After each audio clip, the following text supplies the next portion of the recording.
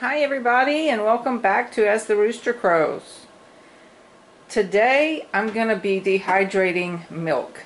I went and I bought a bunch of uh, raw milk from a local dairy here and I've skimmed off all of the cream and I've made butter.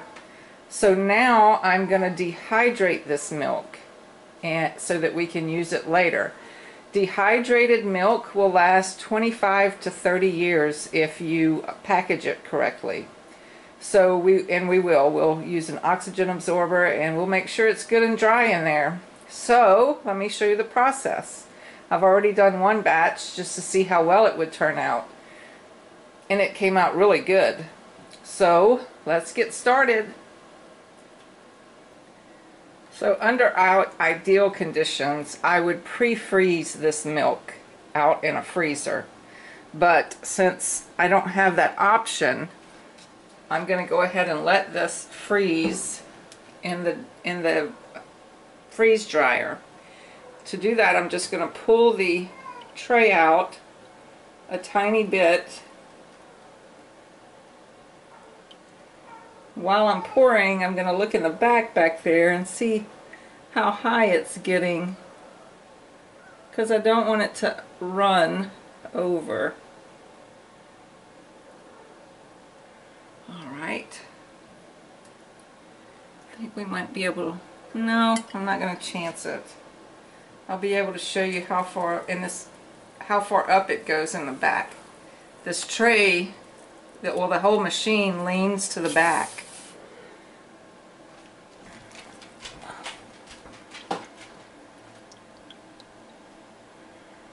Alright.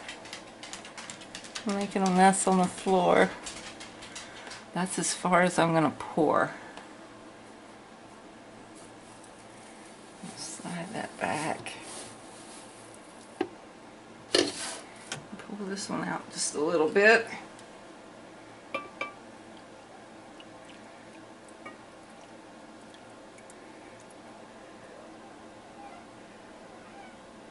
That's enough for that one. So I have two more trays to go. Let me go get more milk. Okay, so by the time I got it all in here, I got about almost two gallons of milk.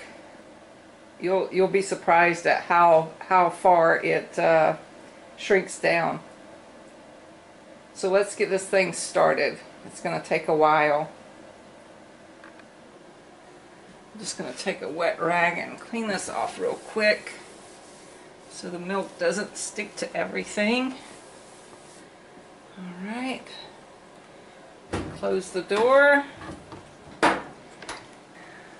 Alright, so we're just going to press start.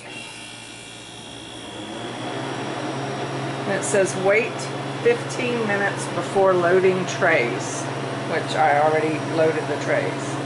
So all it's going to do is cool down. Okay, it's been 15 minutes, so we will close the drain. The drain is just that little thing right there, the drain hose. Alright, now we're just going to press continue. Now it's going to freeze the milk. Not sure how good you can see that, but that's the milk in the trays. And there's five trays total.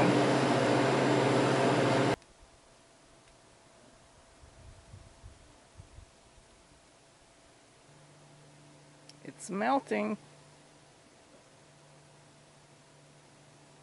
We're supposed to have a snowstorm Tuesday.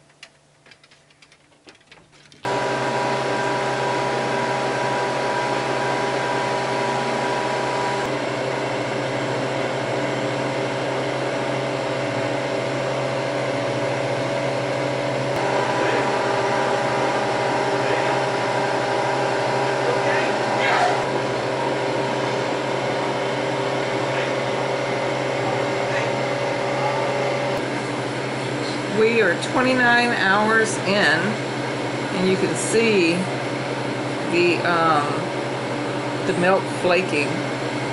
Hopefully it won't be too much longer. You can also see the ice on the drum. It's a pretty neat process.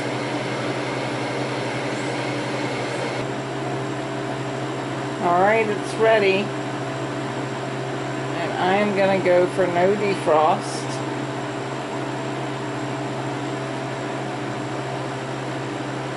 It's telling me to keep the drain valve open. And the pump is going to run for five minutes.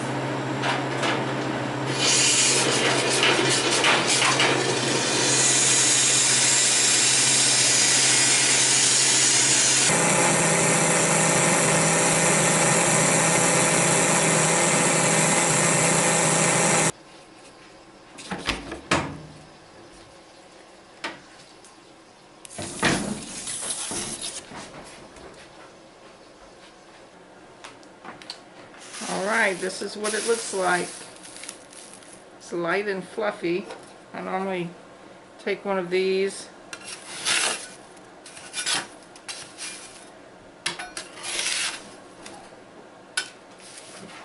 Break it up before it goes in the bags.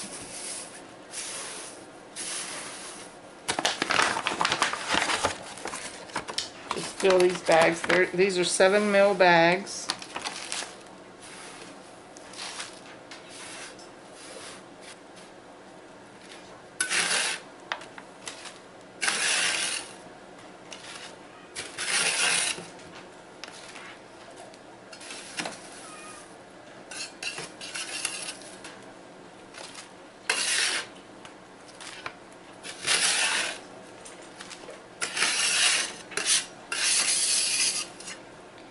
Let me get all the bags filled.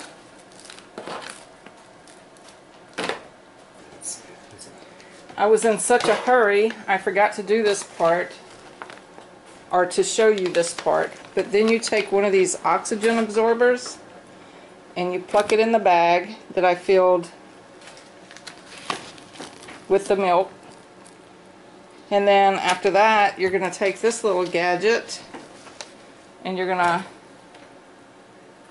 hold it down. There's a light on the end over here until it goes off and then it's completely sealed. And this will be good for 25 to 30 years.